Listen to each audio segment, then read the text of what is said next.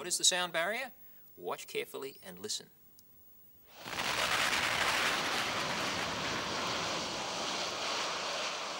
Why do we sometimes hear a boom as a jet plane flies overhead? Think of what happens when you throw a pebble into a still pond. Ripples move out in all directions, and they move out uh, at an even rate. And the same sort of thing happens when you have a jet plane sitting still at the airport with the engines running. The sound waves, you can't see them, but they are there, are moving out equally in all directions. That's with the plane still. But if the plane is coming towards you, think of what happens.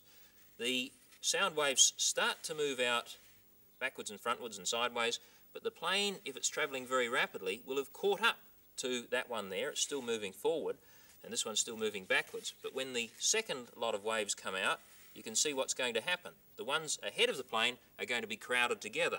Now the plane's still moving forward rapidly, and so are the sound waves. When the third lot uh, come out, you can see that the ones at the front are still crowded together. Now this is all if the plane is travelling very rapidly but not quite as fast as sound, which travels at about 1100 kilometres per hour. If the plane is travelling at exactly the same speed as sound, what will happen, of course, is that these waves in front will all be crowded together and the plane, in fact, is travelling along with them. So that when the plane gets level with you, you don't hear one sound wave after another. You hear them all together, a boom, like that. And we say that's the sonic boom or the sound barrier. The plane, of course, some jet planes can travel more rapidly than that, faster than 1100 kilometres per hour.